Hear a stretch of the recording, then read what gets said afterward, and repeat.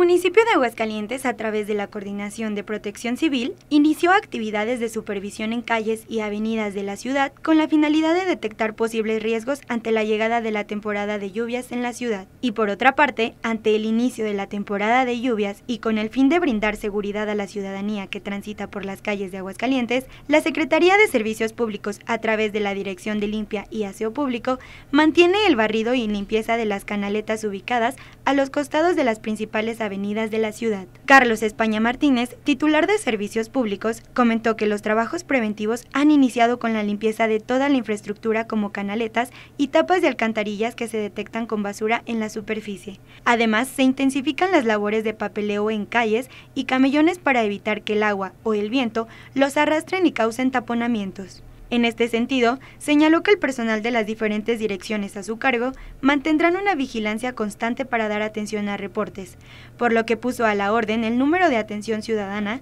449-153-1247 o la línea 072 para recibir comentarios y evitar riesgos a futuro. Por su parte, el titular de la coordinación, José Gavino Vázquez Vega, dio a conocer que ante la llegada de la temporada de lluvias y huracanes 2023, elementos de protección civil a su cargo realizaron recorridos por diferentes puntos de la ciudad,